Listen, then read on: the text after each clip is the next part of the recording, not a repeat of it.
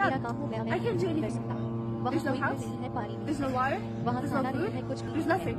Am I going crazy? I don't know. I may be going crazy.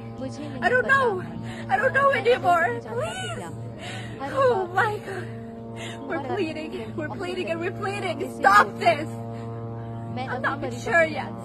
I'm a child. I'm a child. For God's sake, I'm a child. أشهد الله يا الله يا wake up.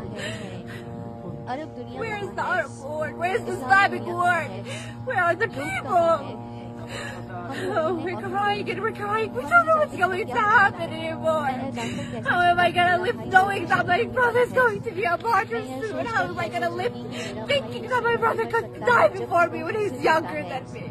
I don't want that to happen. I don't want to be a martyr because of the bombing. I want my family to know I've been killed. I want them to see that I was killed. So the world knows they are selfish. They are not human beings. I'm angry every time. I don't understand. I don't understand. Please stop this.